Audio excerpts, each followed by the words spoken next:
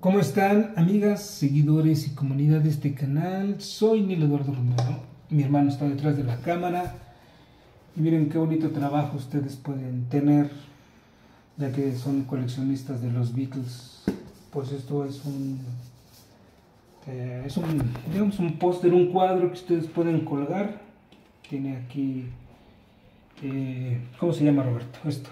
Un caimán. Un caimán que lo pueden colgar en el muro. Y esto está bien impreso, muy bonito. Y, y además, miren cómo están relieve las, las fotitos de los Beatles. Muy buen trabajo, difícil de conseguir en, en todos lados. Además, ustedes pueden ver aquí tres versiones de póster. Es un póster que mide, ¿cuánto de ancho, Roberto? 33. 33 centímetros por 40 y 47 y medio. de alto. O sea, tiene buen tamaño para lucir en un muro. Incluye la publicidad del lanzamiento de la nueva mezcla de, del álbum Revolver. Revolver en, en inglés, como dicen. Y aquí, por ejemplo, está la presentación con las- todas las ediciones en- que salieron. Compacto, doble, sencillo, LP, caja de compactos y caja de viniles. Y de este lado, pues son miniaturas con la- la- las imágenes que se están utilizando para los diferentes videos de este lanzamiento. Claro, solo por incluirlo está el del submarino amarillo, aunque no corresponde necesariamente con el lanzamiento, pero es el que se está promocionando actualmente. Y esta otra, otro póster con la lista de, de canciones y pues material fotográfico que no está en el otro póster. El álbum Revolver, un álbum que cumplió en este año 50 y... ¿Qué? 52. 52 años, ¿no? 65. 52 o 54, no, 54 años. La verdad es que ni me acuerdo, pero no importa, este es uno de estos discos que ya no tienen edad. Y pues vamos a hacer un video unboxing ahora en un solo video, el de la edición doble disco compacto y el vinil. Pero antes de eso vamos a compartirles, la que es Roberto, pues esta, esta edición en disco compacto, la edición mexicana del álbum Revolver. Y lo sabemos porque por dentro, aquí dice hecho en México. Y está, hasta eso está bien impreso. Como bien decía mi hermano ahorita, estas portadas se distinguen por una curiosidad, sobre todo en los ojos de John Lennon. Tienen un poquito de, pantalla aquí, tienen sombra de, de color negro.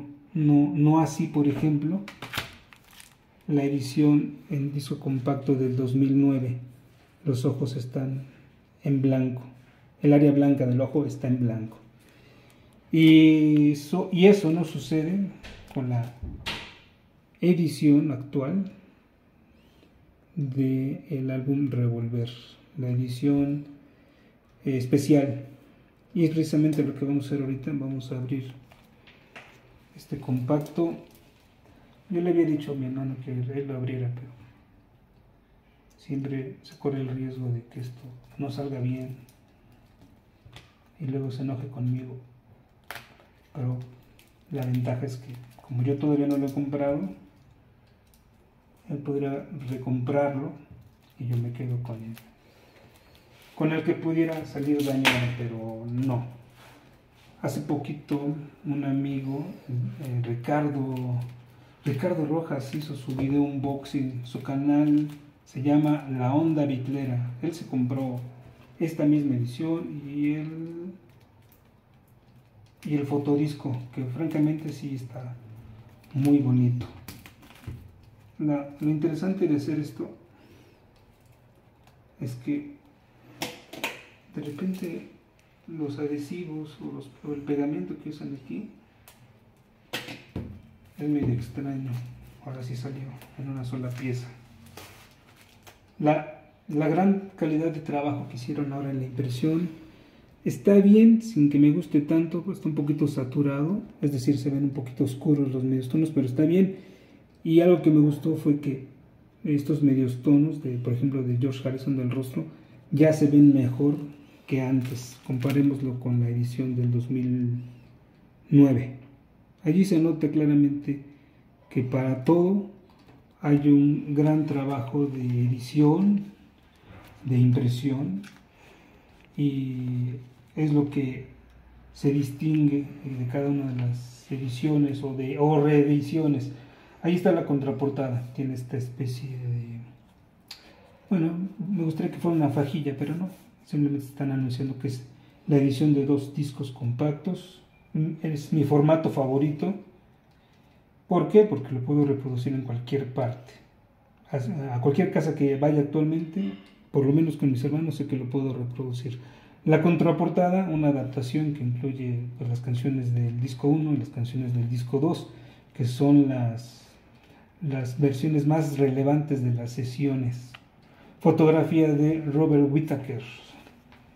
Y portada, como ya todos sabemos, eh, diseñada y ganadora de un Grammy por Klaus Bormann. Bueno, pues ahí va. Vamos a ver el disco compacto. Es de cartera. Se supone que esta iba a ser la portada originalmente. Pero pues se, queda aquí para el deleite de todos verla así. la funda, vamos a ver de este lado. Esta es una edición eh, europea, aquí lo tienes, hecha en la comunidad eh, europea. Y bueno, un poquito respetando los logotipos y la imagen del, del Parlophone del 66, incluso también simulando ¿no? el número de catálogo PSC, PCS, perdón, 7009. Bonito, bonito el trabajo de edición. Uh, cuidado. Vamos a ponerlo por aquí. Y en el otro, pues algo mucho más sencillo. Dos tintas negro y blanco con los, lo, más relevante, los highlights de las sesiones, que particularmente a mí me quedaron a deber algunas versiones. Sin embargo, déjame ver aquí. Creo que la gran ventaja de la edición de doble disco compacto es que no, no repiten Em, no repiten canciones, pero incluyen Paper Pack Writer y Rain. Probablemente aquí esté faltando una, ahorita no lo voy a revisar a detalle, pero se supone que eh, tendrían que ser 14 canciones del disco más dos sencillos, aquí nada más tenemos 15. Si tú ya escuchaste esta edición, quizás estés de acuerdo en que el sonido de los Beatles es un sonido chingón, no hay, otra manera de decirlo. El prefacio, eh, escrito por Paul McCartney en junio de este año, 56 años, ya, ya, ya, ya, son 56 años. este año, este disco es un año eh, más joven que la edad de Alfonso, mi hermano. el texto de la introducción de Giles Martin y ahora sí la reseña escrita por ya este historiador autorizado, Kevin Howlett, que desde, creo desde el disco One, ha estado haciendo estas, estos textos. Muy buen material fotográfico, eh, directamente en el estudio. Mucho texto que es pues obligatorio eh, revisar, leer, atender un poquito lo que otras personas piensan, en este caso Kevin Hoblet. Eh, y recordemos que no hay que tergiversar aquel año, el pleito este, de lo que no dijo John y los estadounidenses lo entendieron de otra manera.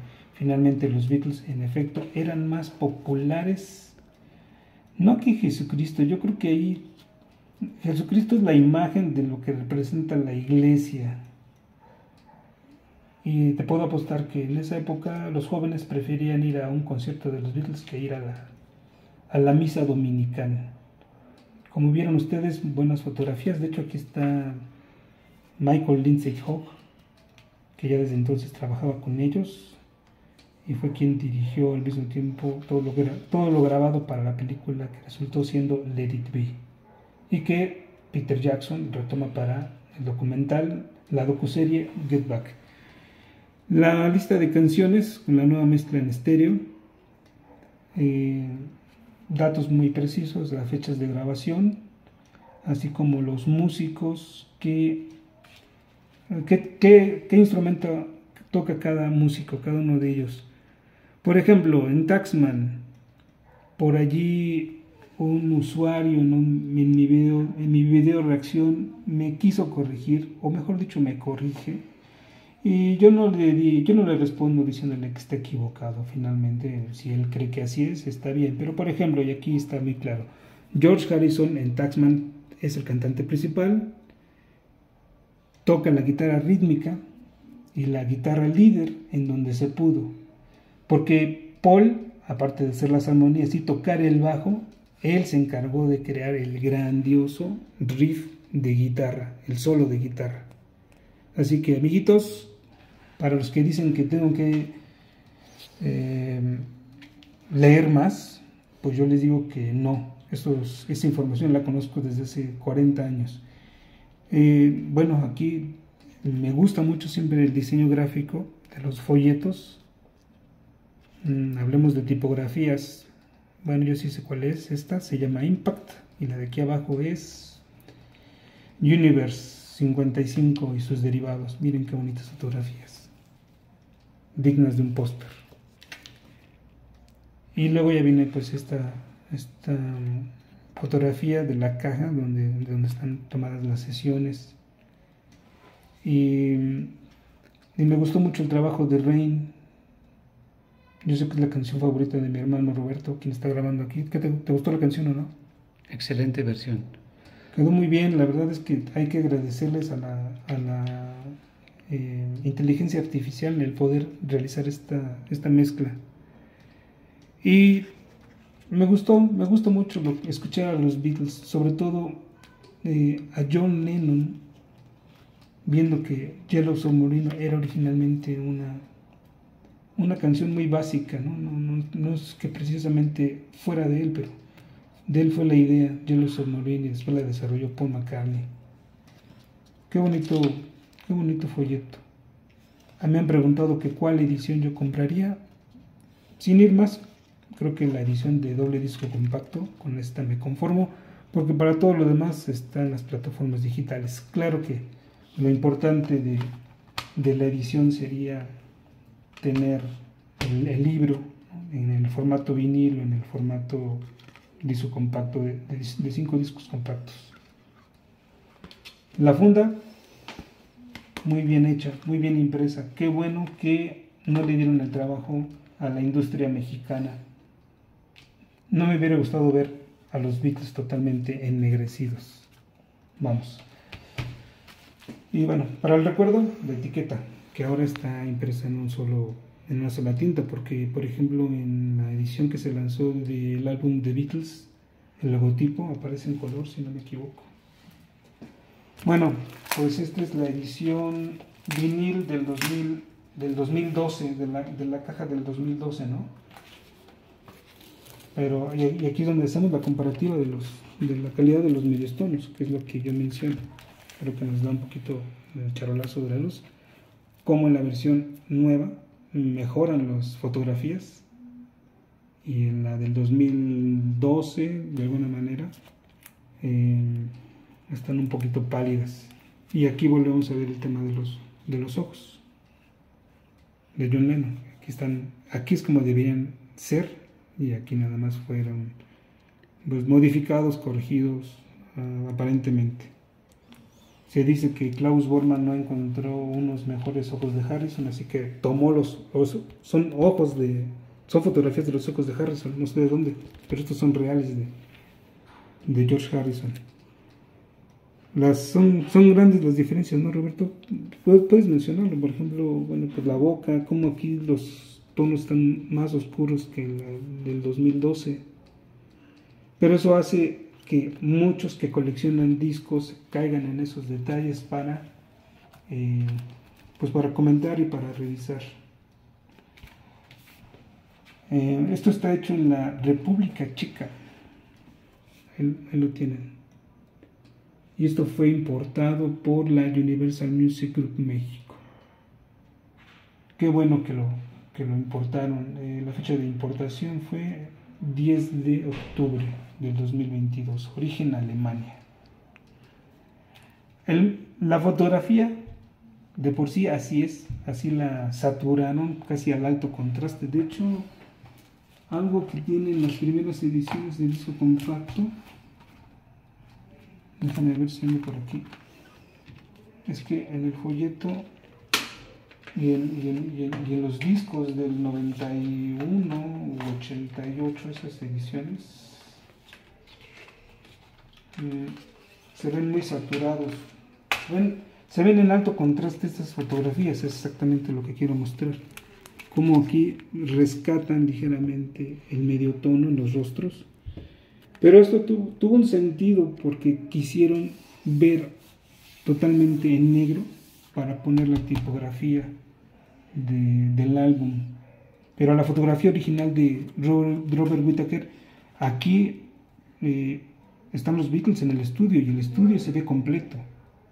Curiosamente aquí no parece que John Lennon esté encorvado de, de, lomo, ¿no? agachado de, hombros. En la fotografía original sí se nota más que aquí. Em, yo aquí le encuentro, vamos a ver, un pequeño detallito Exacto. Un pequeño detallito.